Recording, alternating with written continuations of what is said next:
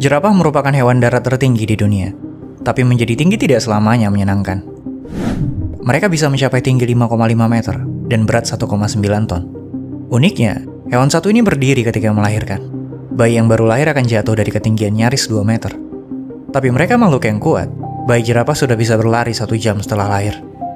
Ada banyak hal menarik tentang jerapah, seperti fakta bahwa mereka hewan yang ramah, namun bisa membunuh singa dengan satu tendangan. Mereka juga punya lidah yang panjang, hampir setengah meter, membantunya memakan daun dari pohon-pohon berduri. Jerapah juga punya jantung seberat 11 kg, terbesar di antara hewan darat lain.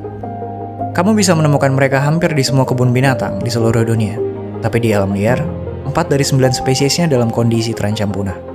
Seiring berkurangnya habitat, perburuan, dan konflik antar manusia.